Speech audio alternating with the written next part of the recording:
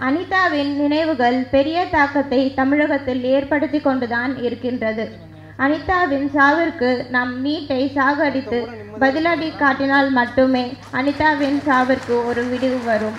இனி ஒரு அனிதா கூட நம் தமிழகத்தில் இழந்துவிடக் கூடாது என்பதே நம் முதல்வர் அவர்களின் எண்ணம் என்பதை நாம் அறிந்த உண்மை. ஒரு ஏழை மருத்துவர் ஆகக்கூடாது என்பதை கொண்டு வருவதாகத்தான் இந்த நீட் தேர்வு. சமூக நீதிக்கான சரித்திர நாயகர் மாண்புமிகு தமிழக முதல்வர் அவர்களுக்கு என்னுடைய முதற்கண் வணக்கம்.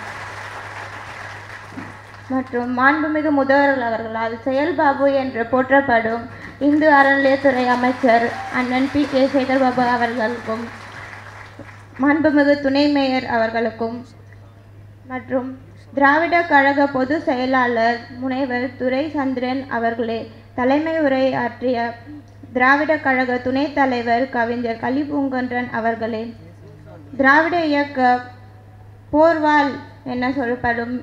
வைகோ அண்ணன் அவர்களே தமிழக தலைவர் ஆசிரியர் அண்ணன் கி. வீரமணி அவர்களே நன்றியுரையாற்ற இருக்கும் திராவிட கழக பொது செயலாளர் வி. அன்புராஜ் அவர்களே மற்றும் இங்கு வருகை தந்திருக்கும் சட்டமன்ற உறுப்பினர்களே நாடாளுமன்ற உறுப்பினர்களே மற்றும் மாமன்ற உறுப்பினர்களுக்கும் மற்றும் இங்கு வருகை தந்திருக்கும் தாமரம் வணக்கத்துக்குரிய மேயர் அவர்களுக்கும் என்னுடைய மற்றும் இந்த விடியலுக்காக காத்திருக்கும் அனிதாவின் அத்தனை உறவுகளுக்கும் என்னுடைய வணக்கம். இன்று அனிதாவின் நினைவுகள் பெரிய தாக்கத்தை தமிழகத்தில் ஏற்படுத்தி கொண்டுதான் இருக்கின்றது. அனிதாவின் சாவிற்கு நம் நீட்டை சாகடித்து பதிலடி காட்டினால் மட்டுமே அனிதாவின் சாவிற்கு ஒரு விடிவு வரும். இனி ஒரு அனிதா கூட நம் தமிழகத்தில் இழந்துவிடக் கூடாது என்பதே நம் முதல்வர் அவர்களின் எண்ணம் என்பதை நாம் அறிந்த உண்மை. ஒரு ஏழை மருத்துவரிடம் நாம் மருத்துவம் பார்க்க செல்லலாம். ஆனால் ஒரு ஏழை மருத்துவர் ஆகக்கூடாது என்பதை கொண்டு வருவதாகத்தான் இந்த நீட் தேர்வு. இது பெரியார் பிறந்த மண். நாம் நினைத்தால் இங்கு மருத்துவராகவும் முடியும். தலை சிறந்த மருத்துவர்களை உலகத்திற்கு உருவாக்கவும் முடியும். ஒரு நுழைவுத் தேர்வு என்பது எப்படி தரமான மருத்துவர்களை உருவாக்க முடியும்? திறமான சீரான மருத்துவர்கள் கல்வியும் ப பயிற்சியும் தான் ஒரு தரமான மருத்துவர்களை உருவாக்க முடியும்.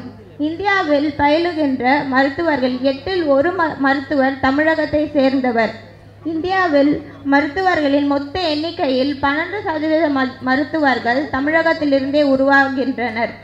தமிழ்நாட்டில் நீட் தேர்வு என்பதை ஒழிப்பதே நம் தமிழக முதல்வரின் ஆணைக்கிணங்க இனி வரும் காலங்களில் சிறிதளவும் தயக்கமின்றி நீட்டினை எதிர்த்து நம் குழந்தைகளின் மருத்துவ கனவிற்கு வழிவகுப்போம். இனிமேலும் தந்தை பெரியார் பேரறிஞர் அண்ணா முத்தமிழறிஞர் கலைஞர் அவர்களின் கொள்கையில் செயல்பட்டு என்றும் என்று கூறி விடைபெறுகிறேன். நன்றி.